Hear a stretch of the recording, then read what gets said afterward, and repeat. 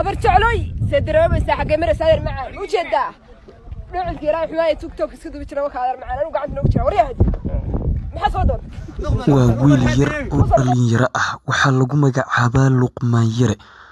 waxa uu ka mid ahaa ciidamada nafla caariga snm isaga oo muddo dheer baraha bulshada ku soo duubayay muuqaalo iyo sidoo kale ereyo muujinaya in uu ataagayo ama weerarayo dadka deegaanada s c. Nafla caariga snm si walba ayay ugu jabeen una fashilmeen xaaladooduna ay ugu muuqataa in ay u sii liidanayso. Ninkan dhallinyarada ah ayaana laga qabtay duleedka boqdharkeyn isaga oo ka mid ahaa koox dhallinyaro ah oo sahan ahaan ay u soo dirsadeen nafla caariga snm ciidamada xaq u dirarka s c ayaa dagaal toos ah uu dhex maray iyaga iyo kooxdan taas ayaana waxa ay sababtay in ugu dambeyn isaga iyo laba kale gacanta lagu dhigo halka kuwa ay halkaas ku geeriyoodeen kuwana ay baxsadeen oo carareen. Wiilkan dhallinyarada ah waxa uu ku qaylinayaa in xaaladiisu ay adag tahay. Waa ilmo yar oo aan macno badan lahayn marka la fiiriyo qaab hadalkiisa wuxuuna baryayaa in la geeyo meel uu ku badbaadi karo isagoo weliba afka ku dhufanaya. Garaadada oo sheegaya in uu jeclaan lahaa in garaadada loo geeyo taasoo muujinaysa ceebta iyo sidoo kale guuldarada gaarka ah ee nafla caariga snm sida rasmiga ah u saameyneysa nafla caariga tallaabooyinkooda go'aanadooda iyo qorshayaashooda ayaa muujinaya xaaladdu sida ay ugu adag tahay iyo sidoo kale guuldarooyinka gaarka ah ee dul hoganaya. Iyadoo tallaabooyinka ay qaadayaan ay muujinayaan inay ku dhex jiraan fashil ceeb iyo guuldarro toos ah oo dhinacyo kala duwan ka saameysay boqdharkeyn ayaa si rasmiya loo xaqiijiyey in ay gacanta ku hayaan ciidamada xaq u dirar kcc aagga balle cumar iyo meelo kale oo aan ka fogeyn ayaana la isku horfadhiyaa oo inta badan ay dhinacyadu isku tuurtuuriyeynayaan madaafiic kala duwan taasoo muujinaysa in xaaladdu ay tahay mid mar walba saameyneysa dhankaas iyo nafla caariga snam nafla caariga ayaa dhammaanba go'aanadooda qorshayaashooda iyo tallaabooyinkooduba waxay ka dhigayaan in la joogo xilligii ugu muhiimsanaa iyo sidoo kale waqtigii ugu habboonaa ee mar walba si rasmi ah meesha uga saari lahaa jiritaankooda. Waxay u muuqdaan nafla caariga snam in ay dhex taagan yihiin fashil ceeb iyo guuldarro rasmiya iyadoo sidoo kale looga adkaaday dhammaanba goobihii la isku fara saaray.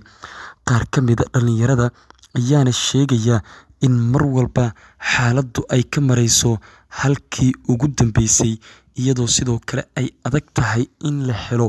xog rasmi ah oo muujinaysa dhinacyadan tillaabooyinkooda iyo sidoo kale qorshayaashooda gaarka ah. Nafla caariga snam tallaabooyinkooda iyo qorshayaashooduba waxay u muuqdaan inay yihiin kuwo mar walba saameynaya deegaanka iyo sidoo kale noloshiisa sidoo kalena ka dhigaya xaaladdu inay tahay mid halisa. Nafla caariga dhammaanba tillaabooyinkooda go'aanadooda iyo qorshayaashooda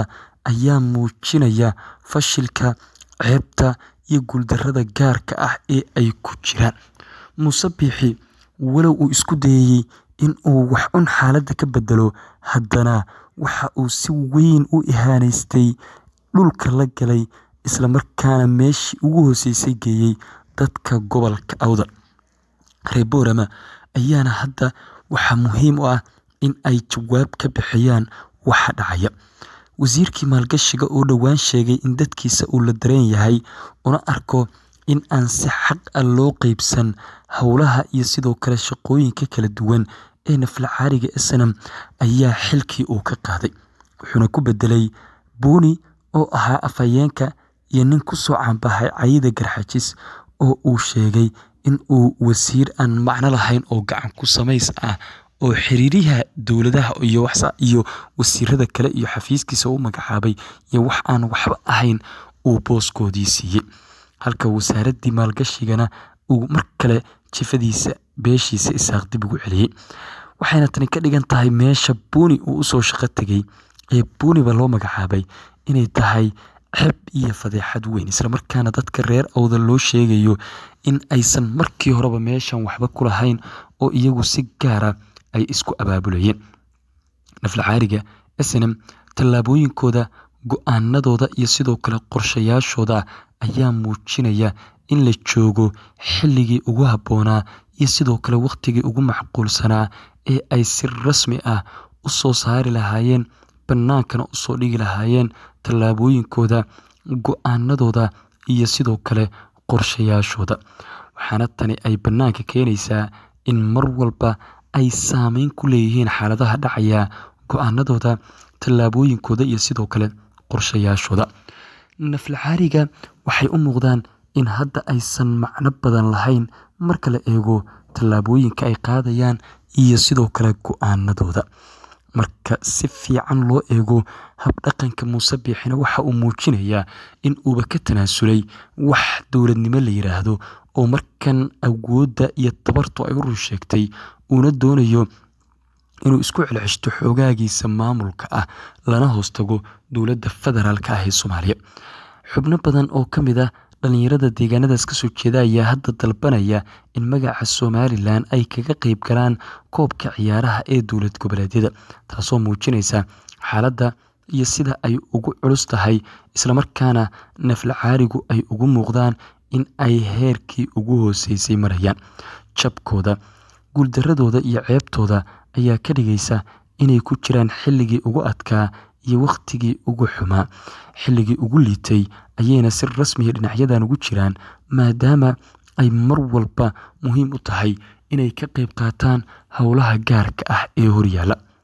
naflacaariga muuse biixi maxamed kaahin iyo saleebaan gaal ayaa hadda isku haray. Saddexdooda ayaana inta badan ismaaweeliya waxba kama jiraan hadallaha isku sheegsheega islamarkaana khiyaali aan soconayn isku aad aadiya ina kaahin iyo saleebaan gaal. Gacanta ayay ku haystaan wixii ay been iyo brobaganda isku adaadinayeen waxayna helayaan jawaabtooda iyadoo hadda deegaanadooda oo dhan qayla ka soo yeerayso ayna dul fadhiyaan ciidamada xaqudirarkiisa si dhibaato walba oo ay abuureen si walba oo ay kabaqaad ugu noqdeen muuse biixi waxa ay hadda dhadhaminayaan ciqaabta iyo dhibaatadii ay beerteen waxay sidoo kale isku dayayaan in markan dhibaatada ay wax ka geliyaan garxajis oo marka wax la qeybsanayo marka nidaam dowliya jiro marka maamul jiro aan waxba loo ogolayn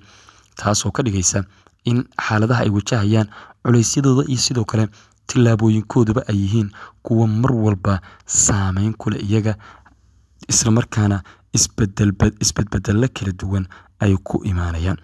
naflacaariga snam dhammaanba tillaabooyinkooda go'aanadooda iyo qorshayaashooda ayaana muujinaya in heerkooda uu marayo halkii ugu hooseysay oo maanta ay u wada cabanayaan baadigoobayaanna garxajis. Warqaba t v ayaan idiin soo gudbin doonaa.